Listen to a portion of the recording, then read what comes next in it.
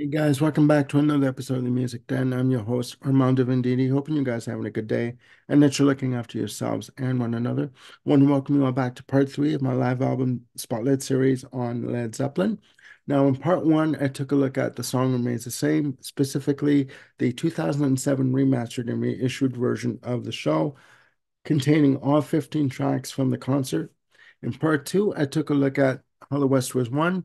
Now, as I said in part two, how West Was Won was an album that came out in May of 2003. It was a concert that people really didn't know existed, uh, apart from Jimmy Page. it was a triple disc set containing 18 tracks, so a, an expansive set, a massive set, clocking in at 155 minutes in terms of playing time. So it was a big deal at the time. So in part three, we are basically going to go album versus album. I'm going to go through each album with you, and I'm going to let you know my honest opinion as to which release that I believe is the better release.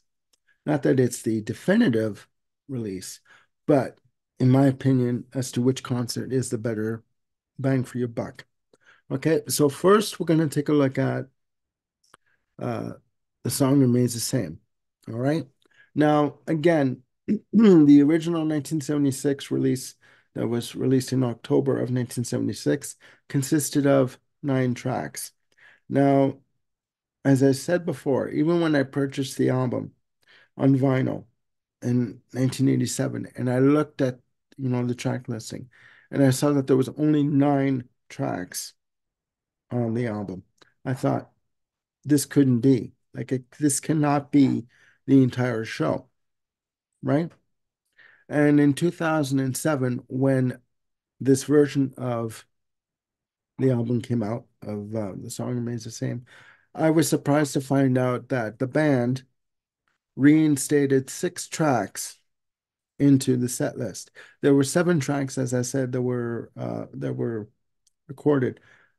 The one track that was not included on the reissued and remastered version is Thank You.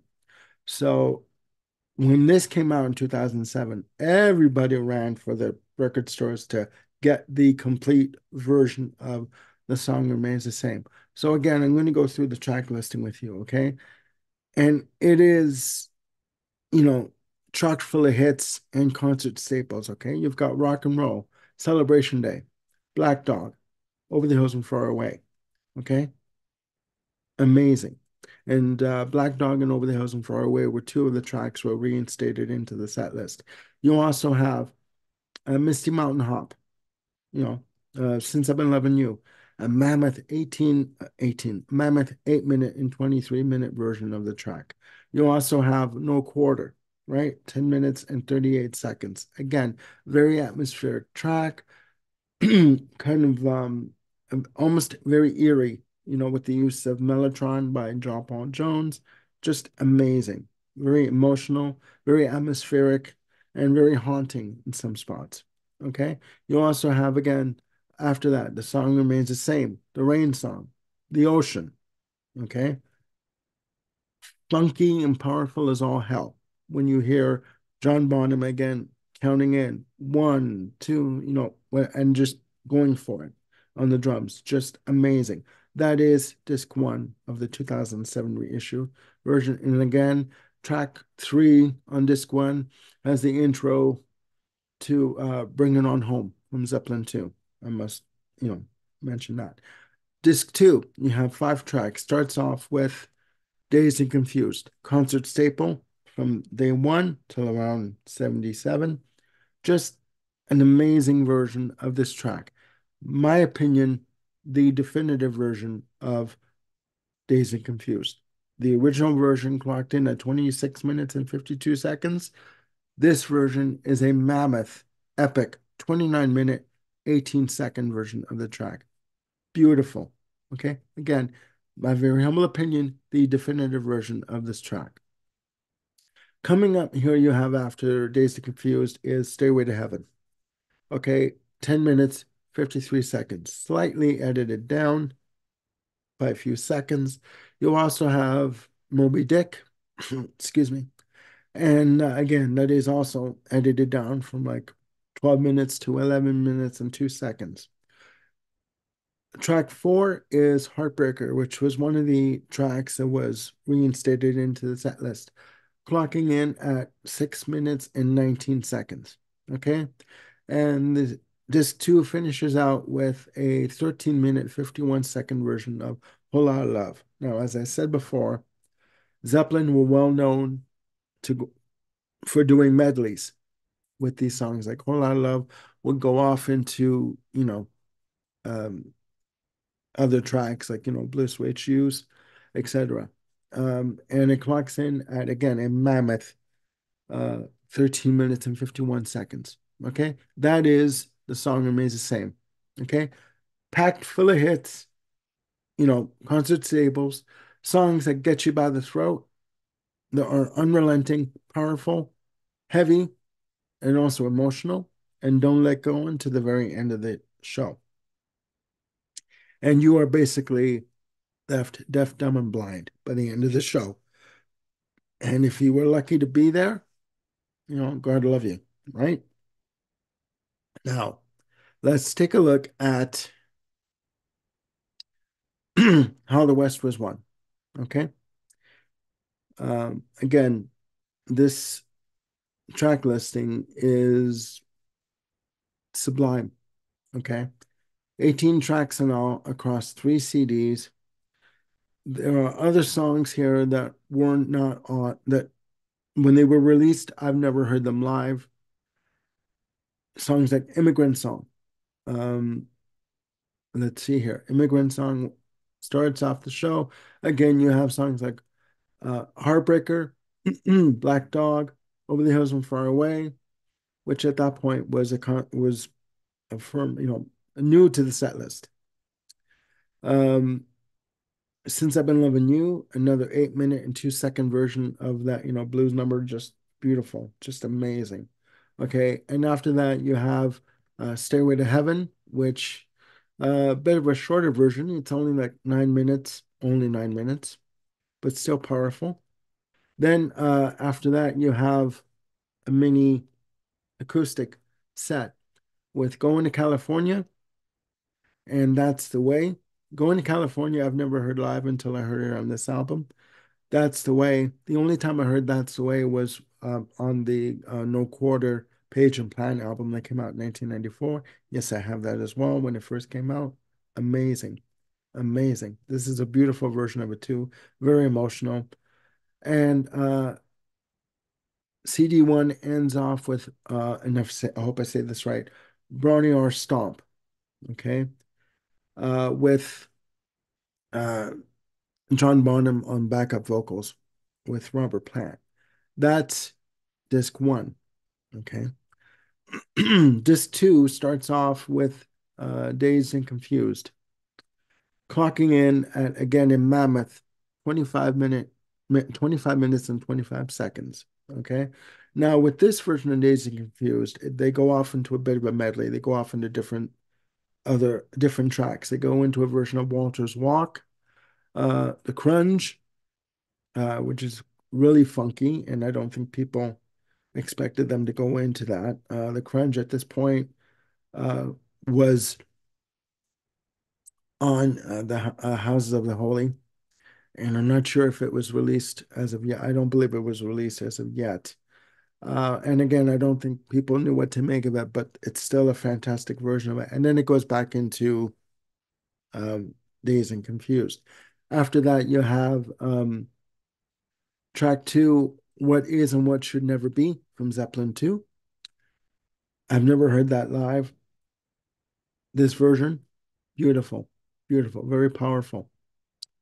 Um, Dancing Days um, comes next great version of this. Very summer-like type of a track, you know, like you're out, you're enjoying the weather, you're, you know, washing your car or listening to this on the radio, or you're out in the out in the patio with a drink with your friends, having a barbecue. You know, very it's a very emotive track, very atmospheric, right? Puts you in the right frame of mind. Okay. Moby Dick comes next. That clocks in at uh let's see here, 19 minutes and change, a 19 minute version of Moby Dick. Okay. Uh, and that's disc two. Disc three starts off with Whole Lotta Love, goes off into a, a medley with other uh, songs, one called Boogie, Boogie Chillin', uh, Let's Have a Party, Hello Mary Lou, which is included on the original 2003 release. It was omitted from the 2018 reissue of the of the album. I don't I do not know why. And it also has a song um, Going Down Slow. Now that version of the track of Whole Lotta Love clocks in at a monster 23 minutes and seven seconds. Okay, so just huge, right? Very expansive. Next up is rock and roll, right? Staple track for the band to be done live. Very energetic, very bombastic, very in your face, going for the throat, right? Up next is The Ocean. Very heavy track, funky in spots. John Bonham is in control on the drums, and he's basically leading the band right through it, just powering right through it. And the uh, third disc, the final disc, ends off with Bring It On Home from Zeppelin 2, um, mixed with a, another song called "Bring It On Back. Okay. Clocking in at nine minutes and 30 seconds. Okay. That's that's the album. That's the complete set. Playing time of 155 minutes and change. Okay. Now, when I look at both albums, at the remastered version of The Song Remains the Same and of uh, How the West Was Won, and in terms of which album do I like better, excuse me, I'm inclined to go with How the West Was Won. Okay. I know that's going to piss off some people, that might shock some people, but you know what? To me, if this album was released instead of um, the song remains the same, this would have been a better release because you have a you have a well-rounded full experience of Zeppelin live. You have the immigrant song, you have Heartbreaker, Black Dog, you know, all the staples of their set at the time. You know, Over the Hills and Far Away again. But you also have the, you know, uh, as I go through my notes here, you also have the three tracks at end of disc one, Going to California, That's the Way, Bron-Y-Aur Stomp. And again, I hope I say that right. You have that three track acoustic set where you can just, well, when I hear it, I can just imagine all three or all four members, sorry, of the band sitting at the front of the stage with their guitars and just going for it. You know, they're feeding off the energy given to them by the audience. The audience, the audience is taking that energy that the band is giving them and giving it back to the band. So it's a it's a mutual exchange mutual exchange of energy, of positivity, of love, and acceptance of one another. It's beautiful. It's beautiful. And um, you know, you also get uh, again, you get the concert staples like Dazed and Confused, which they performed, I believe, on a steady basis up until around 77, where I do believe that Dazed and Confused was dropped from the set list. Um, but you also get them going off into other, um, like doing medleys, going off to other songs, into other tracks like Walter's Walk, The Crunge, you know, um, also other songs like What Is and What Should Never Be, you know, which is a perfect track live. Dancing Days, beautiful, beautiful. Moby Dick, right? Um, you know, John Bonham's opus, right? Magnum opus in terms of a drum solo.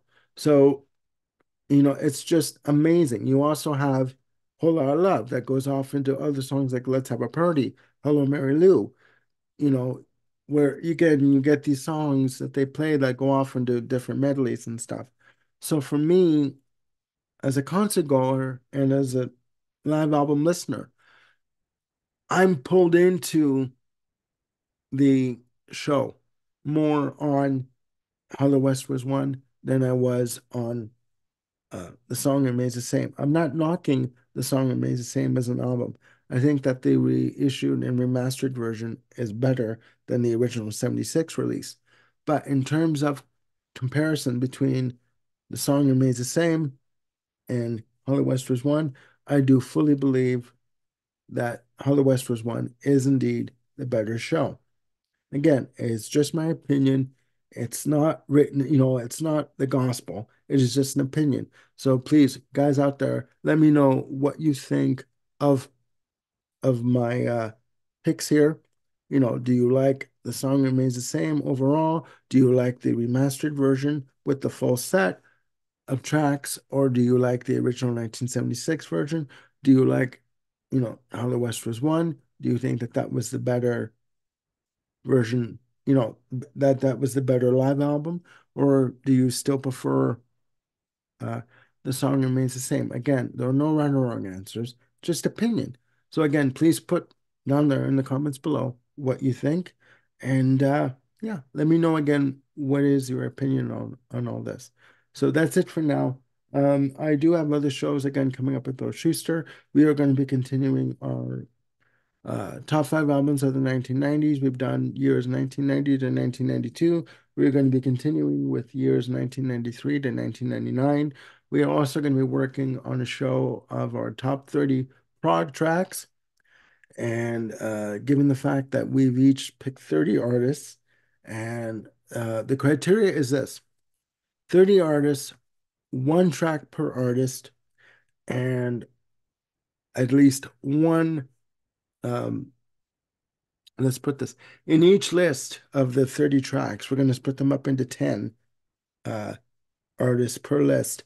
We're going to be picking at least one epic track, 10 minutes or more in terms of a prog track. So please stay tuned for that. Again, we're going to split that up into three segments because if we did if we did all 30 prog artists in one go, we drive each other crazy, and I'm not about to do that. So that's coming up. And uh, please stay tuned for more episodes coming up. Please click like and subscribe and hit the notification bell again to keep yourselves on top of any new content that I've got coming up. Um, April 1st is coming up. April 1st is the, I guess you call it the anniversary of when I started uh, the, the Music Den. And I want to take this opportunity to thank everyone that's been watching and everybody for your comments um, and for your support. It's been a scary proposition for me to do this on my own. I really want to thank Bill Schuster and Ryan Gavalier and uh, Peter Kent and Andrew Cox um, and everyone else that has helped me do these episodes. It isn't easy, but you know what? It is fun for me to do this, and I do enjoy doing it. So please, again, um, thank I want to thank everyone for watching and for all of your support. So, uh, but for right now, I will say goodbye. Please again look after yourselves and one another, and I will see you soon with another episode. Bye for now.